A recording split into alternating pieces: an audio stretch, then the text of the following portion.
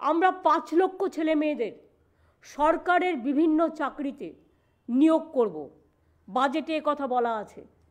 Police হতে পারে, teacher হতে পারে, নানা ডিপার্টমেন্ট হতে পারে গভর্নমেন্টের গভর্নমেন্টের কর্পোরেশন হতে পারে, গভর্নমেন্টের মিউনিসিপ্যালিটি হতে পারে, গভর্নমেন্টের পাঁচ লক্ষ কর্মসংস্থান সরকারি ভাবে আমাদের বেকার যুবক, যুবতীদের জন্য এই বাজেটে রাখা হয়েছে।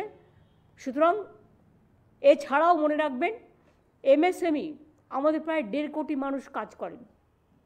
আর লক্ষ লক্ষ, প্রায় দশ লক্ষ ছেলে মেয়ে ইতিমধ্যেই আমরা কর্মসংস্থান দিয়েছি, বিভিন্ন সরকারি এবং বেসরকারি কর্মচারী মিলিয়ে।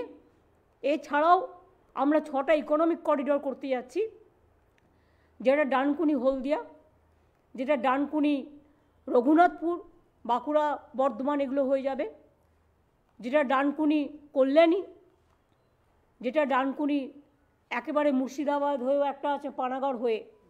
মুর্শিদাবাদ হয়েও আছে, মালদা, কুচবিহার।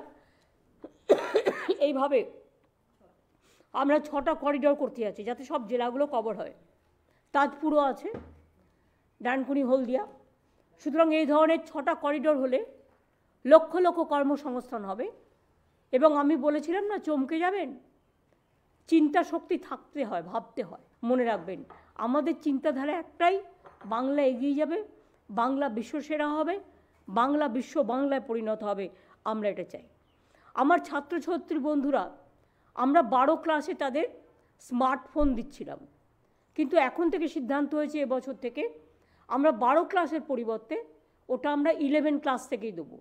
তার কারণ ক্লাস ইলেভেন থেকেই টুয়েলভের পড়াশোনা শুরু হয়ে যায়। এটা তাদের আরও কাজে লাগবে ভবিষ্যতের জন্য।